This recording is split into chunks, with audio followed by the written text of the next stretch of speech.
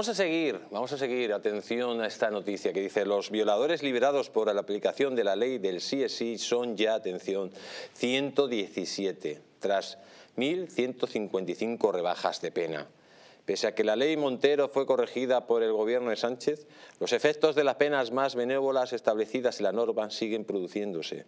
Los tribunales han acordado ya 1.155 reducciones de pena en aplicación de la reforma de los delitos sexuales que promovió hace 10 meses la ministra de Igualdad, Irene Montero, y que tuvo que ser corregida por el propio gobierno para que los agresores sexuales que se cometan o las agresiones sexuales que se cometan en el futuro no reciban un tratamiento penal más benévolo.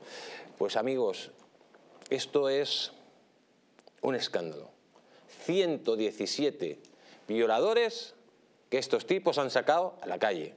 Sánchez y sus ministras feministas. Estos 117 violadores, según eh, término medio, dicen que el 98% van a recibir. O sea que las próximas 117 violaciones o 115 violaciones que hagan estos tiparracos el responsable político directo, y tendríamos que examinar si es penal también, es Pedro Sánchez.